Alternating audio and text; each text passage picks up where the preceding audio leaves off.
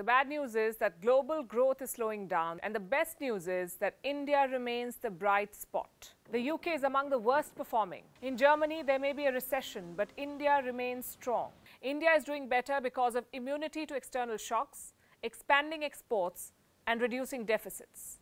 The challenge now is to sustain this growth, and there will be external shocks. The IMF says the outlook for the world economy remains dim.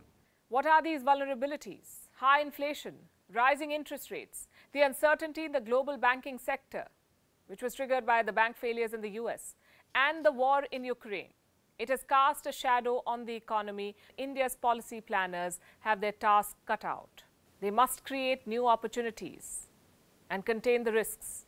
The next few months are going to be crucial as the world's fastest growing economy. There will be more expectations from India